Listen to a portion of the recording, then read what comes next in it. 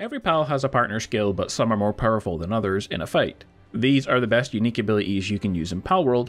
From machine guns to rocket launchers, some are just the PAL's natural abilities, but for most of these you will need to build the PAL's specific mount first in order to use. A couple PAL's abilities like Sibelyx and Cinnamoth I did test and they're not very good, but also they're broken, which is why they're not included in the list.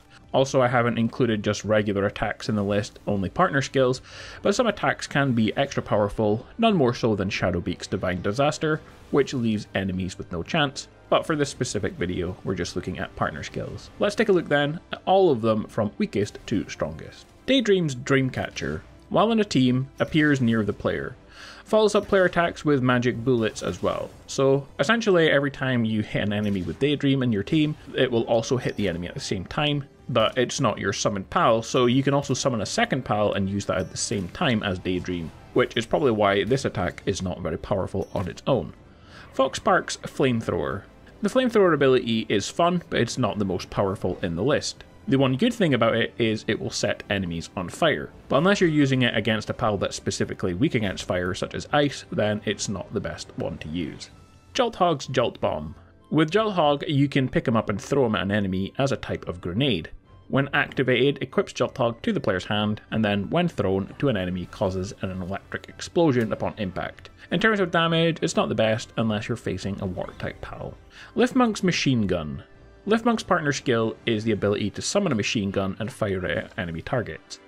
When testing it out, it does fairly decent damage against any type of PAL of equal level, on normal difficulty as well, and the big issue though with this one is it has very little accuracy so you need to throw Lifmunk really close to an enemy before you activate it, but it's a decent special attack for an early game pal.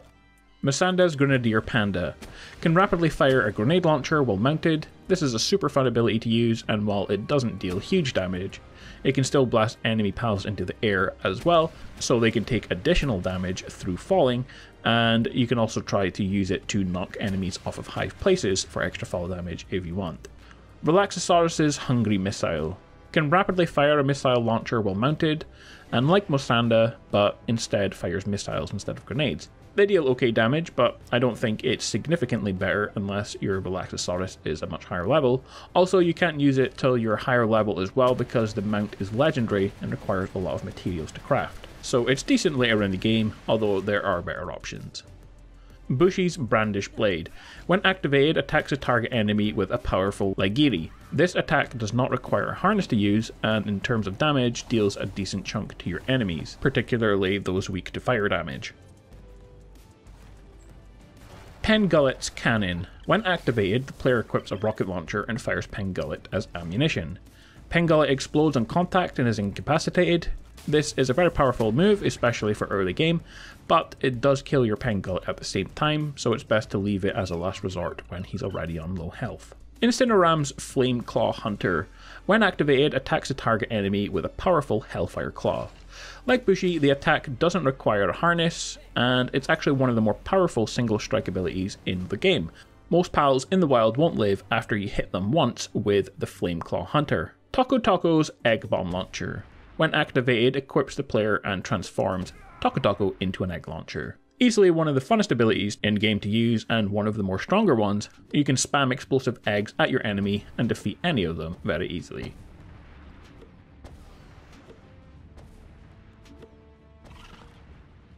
Grizzbolt's Yellow Tank. Mount Grisbolt and can rapidly fire a minigun while mounted. The bullets don't do huge damage, but the minigun lasts quite a long time, and so the overall damage is high, allowing you to kill a couple of enemies before the minigun runs out, and so this is definitely one of the better partner skills that any of the pals have. Lastly, we have Jetragon's aerial missile launcher. You can't get and use this pal until level 50, but when you do, his partner skill is the strongest in game. A missile launcher you fire while riding him that deals big damage to your enemies. On top of this, he's just a naturally powerful pal, one of the strongest in game before you even improve his skills, and of course he's the fastest mount as well, and the aerial missile launcher is just the bonus on top of that. So there we have it then guys, all the pals with the best partner skills to use in a fight. It's not always simply about who has the best attack stats, but what moves they can use. Like Taco Taco doesn't have the greatest stats, but he can outdeal damage over plenty of other pals who have better stats with his egg launcher. And while not always the most useful later in the game, when you're early to mid game, these skills can all come in very handy. Guys, if this guide was useful, like and subscribe for more, and I'll see you in the next one. Bye.